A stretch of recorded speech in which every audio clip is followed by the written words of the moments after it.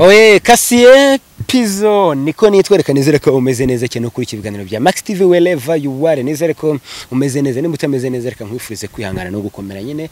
Ubuzima niko bumeze uyu munsi ushobora kuba umeze neza ariko ejo utameze neza cyane. Twicaye kuri Paul ahantu hasa neza hari jaride nziza habereye ubukwe umuntu rwose mwiza yicaramo ukabona ko nawe ibintu byahuye byabaye neza cyane. Haba resitora nziza ibamo n'akagwa keza bwo ku bantu bakunda akajya rwagwa umujyi wa kigali. Akagwa ntabwo kamuvugishije ukuri. Nta n'ubwo nduzi ni uruhe?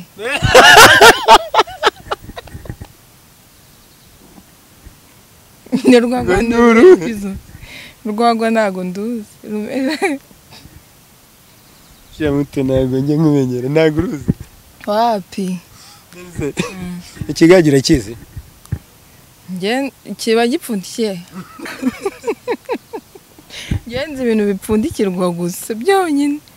Bidapfundikirwa ntabwo mbizi. Ibintu byo mu cyaro uzi byo kunywa ni ibi? Ndabyumva ariko ntabwo mbizi. Mm. nta kintu cyo mu cyaro cyo kunywa na kimwe. Ndabyumva. Kuba narakinyweye? Oya ntabwo ndabinywa harya ntabwo ntabwo uraba mu cyaro na rimwe ndajyaho urabaho mu cyaro. Na rimwe oya ntabwo ndaba mu cyaro. Kereka wenda kujya gutembererayo nta kindi. Ibiryo byo- mu cyaro abandi bantu barya wowe utapfa kurya ni ibi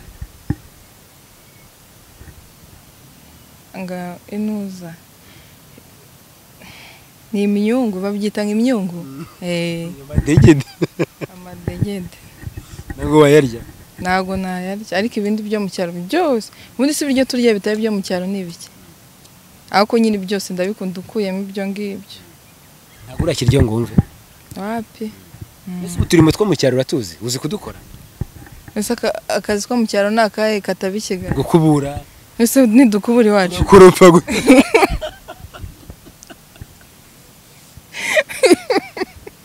oya none nta mbuga tugira iwacu yo gukubura uratorosha cyangwa nda- byose akazi kose ndagakora. Gucana mu ziko gushyiramo inkwi urabizi? Gucana mu ziko Mm, aba ari amashyiga angahe atatu. Sibyo saa tatu ra neza mwari aya mashyiga bakubwiye ngo uvanemo rimwe urumva ishyiga riba rigize ayandi mwari ya nini iry'inyuma. Mm, ivu urarizi mm, ivu riraryoha sibyo? Uraririye urariye naririgaseho none se mu nzoga mu nzoga mu nzoga mu nzoga ubundi winywera izihe nzoga? Ntabwo njyanywa inzoga nta kintu gisembuye na mbuga wapi? Nta nubwo uranywa kuka akagage ntukazi akagwa ntukazi ibintu byose niyo mpamvu nyine bisembuye niyo mpamvu nta- ntabinyweyeho akaba rero ari mutoni mwitabe sorry. Ntabwo mwitaho. Ufite akayifone keza nabuze ndi kureba kuri twitter hari umuntu wapositinze aravuga ngo umukobwa ufite iphone cumi na kabiri. Uwo mukobwa ntakiri isugi mu mujyi wa kigali. Kubera iki kisa ataba isugi? Sinzi impamvu nyine bapositinze shaka umuntu wabivuze ndumva ntazi. Mm. mbese ni ukubera iki ataba ayifite? Kubera wenda ishatse kuba ihenze se? Sinzi impamvu yabivuze ariko uratekereza ko ari nk'iyo mpamvu? Ntekereza wenda kuba ihenze ariko nyine none se abakobwa b'amasugi ntibafite amafaranga hano hanze. Cyangwa nk'umu- cyangwa nk'umubyeyi wenyine akayimugurira. Kandi nkawe ufite amafaranga kandi n'iwacu barayafite. Ndetse niyo mpamvu yatuma udatunga telefone nyine. Shapizo jya umbabarira rero ni muto ni muto urasa neza cyane. Wambaye inkweto nziza cyane ku nzara za bien Merci. hari abantu bari ko waberetse urukweto yambaye barwita inshinzi. Niko babyita? Washinze. Nose ubu nashinze. Uzi ko untutse uramutse ubu nashinze. Sawa. Ariko ufite udutoki twiza by the way ni ukuri. Nicyo ukunda ku mubiri wawe gutya hano inyuma. Nkunda intoki zanjye n'ibirenge. Mm. ufite uturenge twabyo? Njya mbona mo gahishye Mm,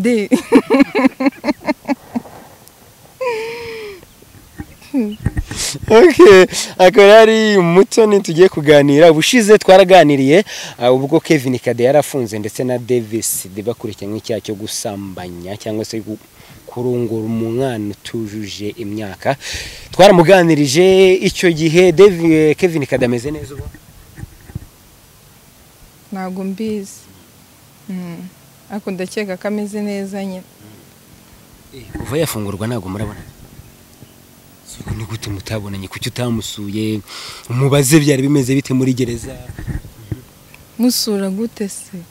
Mu buhe buryo? Nk'umushuti wawe ntabwo turabonana buriya aracyafite ibyo arimo nyine Mm. umuntu mwari inshuti umuntu mwari muturanye ni gute utamusura? Kubera akazi kanjye nawe ake ariko ndumva bitari na ngombwa ko musura. Icya mbere ni uko yafunguye nta kindi. Mm. ishimye se byo? Narishimye ese ntabwo wishimye. Nanjye narishimye.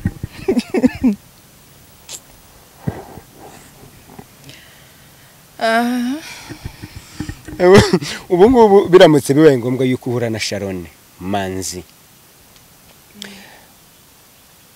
Wabaye intandaro n'imbarutso yo gufungwa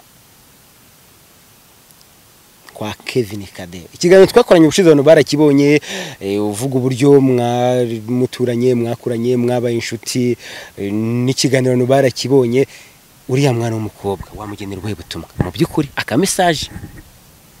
Mesaje namugenera ni ukwakira nyine ibibi byamuvuzweho kandi ndumva ataraciye nk'amabere by the way. Kuko hari icyaha yakoze. Si babaye abere se. Yakicara nyine agakomera muri we akumva ko akiri wa wundi yari wenyine mbere bitaramuvugwaho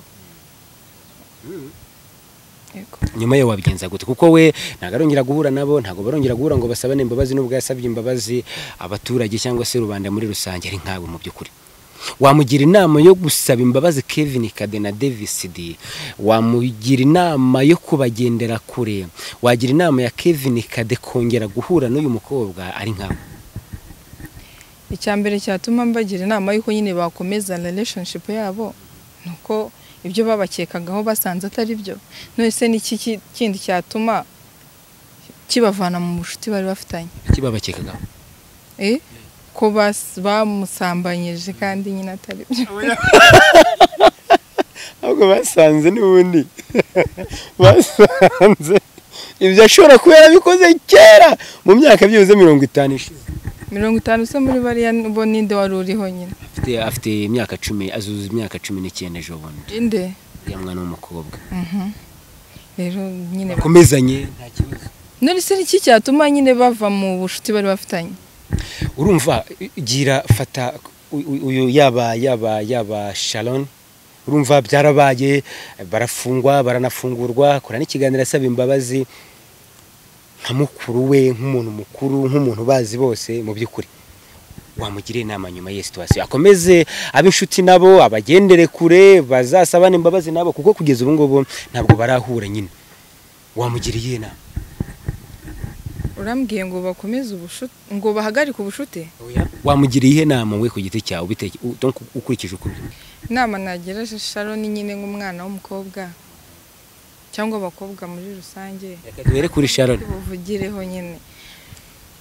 Ni ugukomeza nyine agakomera akumva ko yari we mbere ko nta cyahindutse kuri we kuko buriya ashobora gutambuka wa mugani we numvishe ikiganiro cye ngo ngo hari icyo byamuhinduyeho ngo araca nko ku bantu gutya ngo yafungishije bande we nta- ntabyiteho cyangwa ngo abihe umwanya akomeze nyine yumve ko yari we kuko ni umwere na bagenzi be ni ni abere ko nta cyagaragaye ko hari icyo baba barakoze.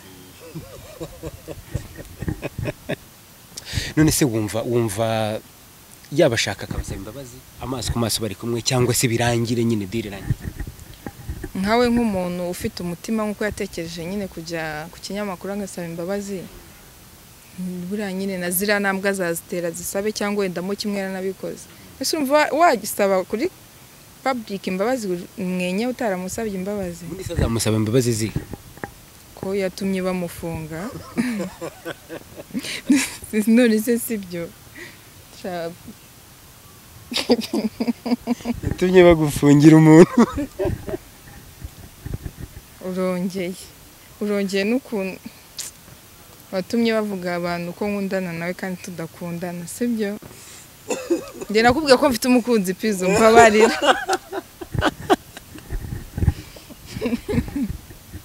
uragira ngo be wanjye ahantu arababare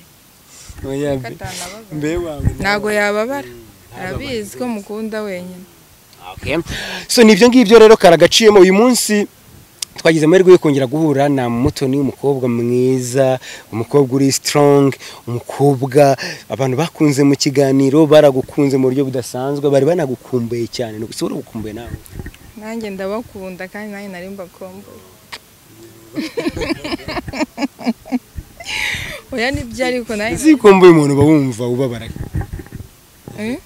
Ahantu mbabara ubwirwa ni mba numva nyine muri njye. Mukumbuye mukunda. Amahoro. Ayembura amahoro. Ukumbuye umukunzi wawe bigenze ute? ndamukumbura tukavugana tukabona. Musore ikindi iyo tubonanye birashira cyangwa twavugana. Uyu munsi eh, ufite umukunzi ukongera kose muzanabana iyo wumvise umuntu yiyahuye kubera ko umukunzi we yamubabaje cyangwa yamuciye inyuma cyane cyane ku bashakanye shamuto ubyumva ute muri N- ntekereza ko gufatera intambwe ukajya kwiyahura. Numva ari ibintu bikomeye. Njyewe wa mukunzi wanjye umenye ko ntakwiyahura kubera wanyanze. Mba numva nyine ari igikorwa gishobora abantu bakeya. Mm. njye ntabwo nabikora. None se none se uhuye n'umuntu mu by'ukuri ari kujya kwiyahura kubera ko umukunzi we yamwanze wamugiriye inama. Namugira inama yo kugaruka. Nese we aba agiye gupfa. Sibyo uwo aba agiye kwiyahurira aba agiye gusigara kuri iyo si. Azaguma abayeho neza kandi we warapfuye waranibagiranye gute se najya kwiyahura? Wababaye muto? Ntabwo nakwiyahura. Kandi mwibera muri kigali wishe nese nk'abantu kigali wishe kigali wishe yego none se reka mbanze nkubaze. Nk'abantu bafata intambwe bakajya kwiyahura ni we muntu aba yarakunze bwa mbere buriya. Ese kuki atiyahura agiye atekereje se? Ndasiga umuryango wanjye wari ukinyeneye kandi abenshi ntekereza ko bajya kwiyahura bamwe baba bafite abana ugasanga umuntu nyine aravuze ngo ah, reka niyahure kandi afite umukunzi yamukundaga ubuzima buranze divorce ibintu byarakomeye. Sha ntabwo biba byoroshye muto kuri wowe ubundi uba wumva ari iki cyatuma umuntu akora divorce? Reka tuve wenda kwiyahura. Ntabwo ugiye nshobora guha divorce no muri interview ya mbere narabivuze. Ntabwo naguha divorce. Wagenda ahubwo ukaguma umenya ibyo ariko ntabwo ngiye naguha divorce. Wamubangamira watuma yiyahura. Ese agukubita nk'umugabo agukubita. Umugabo so nakubwira nabyihanganira byamvuna kubyumva ariko nyine kugira ngo nkomeze nshake kuba muri rwa rugo rwanjye ndimo n'umuryango wanjye nawubamo. Nawe ubwe nyine hariho ukora ikintu ariko yagira akazicuza icyatumye agikora nyuma. Nawe yagerageza uburyo ki azicuza nyuma. Ese bo wumva uzakora ubukwe ryari muto mu by'ukuri? Ntabwo mbizi ntabwo nzi igihe nzakorera ubukwe. Ntabwo nzabukora. Ubushaka? Nzabukora. Ubishaka ubishaka? Ntabwo mbishaka ariko bibaye ntabwo nabyanga. Mm, nabyemera. Hanyuma rero ubundi eh, uyu munsi reka tugaruke inyuma gato cyane nanone muri kariyeri abantu bari bamaze igihe batabona filime yanyu True Love. Abantu bari barababuze byagenze bitera no mu mpamvu yatumye tuvuga ati reka uyu munsi tumuzane mutoni azabwira abantu ko bababuze byagenze bite? Impamvu twari tumaze iminsi tudakina? Twari turi muri vakansi ariko ubu noneho twagarutse mu cyumweru gitaha tuzatangira kuwa mbere muzatangira kubona utundi. Mm. uyu munsi abakinnyi ba filime abantu baracyabita amazina bakabita indaya bakabita abakobwa bananira ariko imyeka ko byari bya kera abantu bose babashije bamaze kwisobanukirwa. Ntabwo sinyeka ko hari umuntu ngubu wakwicara akavuga ati umutoni akina filime ni indaya kubera nyine ko akina. Buri muntu wese yabashije kubona ko hari igihe uba baguha nka rori yo gukina urakaye cyangwa uvuga nabi kandi mu buzima busanzwe utazi kuvuga nabi. Ariko ukemera ukabikora. Rero buri muntu wese yabashije gusobanukirwa ko uwo abona hariya hari igihe aba atari we ese muto hano muri indasitiri yacu hano mu rwanda ninde cyamamare ukunda uvuga ati iki cyamamare iki cyamamare? Ntawe nawe. Nese nkubeshye ntawe Mm, kabisa. Neze mu muziki wumva izihe ndirimbo? Zose ndazumva. Ugakunda? Mu zijyanye n'izahe za hano mu rwanda. Hano mu rwanda? Umuhanzi nshobora kuba nkunda? Ntawe hanze hose? Eh, hanze karahara ko nkunda. mwise akantu kandi ni uruntu runini.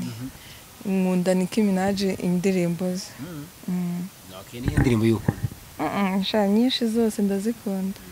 Mm. nta cyamamare ukunda hano i kigali. Wapi? Kuvuga ko nakwicara nkumva ko mukunze? Oya ndabakunda bisanzwe ariko ntabwo eh, ntabwo ari cyane. Mm, ukunda kureba filime mu rusange yego. Agasobanuro. Twose. Mwisangamo. Neze nk'uburi kureba ubu ngubu ndi kureba filime bita- ngo my dear heart. Mm. vuga ivuga iki? Irimo nyine akana kaba kari sinakubwira gute? Irimo umwana uba baramubyaye nyine bakamu nyina bakamushyira ku si- birananiye kubisobanura ariko nyine irimo umwana ukoreshwa urwara akajya muri koma umwuka we nyine akaba ari wo utembera mu bantu bose. Ariko akabasha kumvwa n'abantu babiri gusa. Ariko muri ino minsi abantu bavuga yuko ari kuri wowe utekereza ko ari umugore ari umugabo. Ninde wishe urukundo? Umugore n'umugabo ninde wica urukundo? Ni bamwe bavuga abakobwa bishe urukundo abasore bishe urukundo abagabo bishe urukundo kuri wowe. Abasore. Abasore bi- ba- bica urukundo kandi baranababazanya. Ntabwo bajya bareka kubabazanya. Neza abasore bishe urukundo. Ese ubona urukundo rwa kera rwo rukiriho ubu? Hari abavuga yuko abakobwa ari mwe mwarwishe. Namwe abagabo nimwe mwarwishe. Abagabo barwishe gute? Ubibona nawe niko mbibona se Njyewe ntabwo mbibona ko barwishe wowe ubibona rwarapfuye ntabwo rukibaho byatewe n'iki byatewe n'iki nyine isi yari ikaraze ngira ngo yarahindukiye ngira ngo isi dufite ntabwo ariyo ya kera. Bya bintu ntabwo biba byoroshye muto ku mutima hari iki? Wabwira abantu tugane no ku Umutima- ku mutima wanjye ni uko mbakunda. Kandi nari nanabakumbuye. Karaba maze banshyigikire kandi. Banakora sabusikarayibu kuri max tv yego? Yego pizo bakajya no gukora ku muhanzi tv sabusikarayibu kuri turu love. Udusubirize Kevin Kade nubwo mutarahura do ese wamusura ese nk'ubu ngubu nka- nka Sharon muhuye mugahura nyine gutya ni ikihe kibazo kimwe cya mbere ahita umubaza? Sha ntacyo ndetse namubaza iki? Wapi ko ndeba. Niba ubwo najya kumubaza iki pizo mbabarira umbwire ese nk'ibyamubaye ari nk'umushuti wawe byabayeho. Ari umushuti wanjye byabayeho. Nyine twaganira. Ukajya umubwira. Najya mbasha nyine kumuguma iruhande kenshi. Kuko shana ibintu bibabaje. Uzi ko buriya bari uriya mubebe abantu bazatuma banamutinya kumutereta. Uvuga ati njya guteretwa kwa kana njya gutereta kwa kanaka eh? Njya gufungwa. Wowe wajyayo pizo? Wajyayo? Nanjye musaza wanjye nawe namubwira kujyayo. Wapi? Njye kumubura. Ariko nyine ni ibintu bisanzwe. Bazajya bagira ngo arafungisha iyo umuntu amu Eh, iwabo batumye bamutinya. Ariko nyine ni ibintu bisanzwe abantu babyumva nyine. Nta mpamvu yo kumutinya ihari.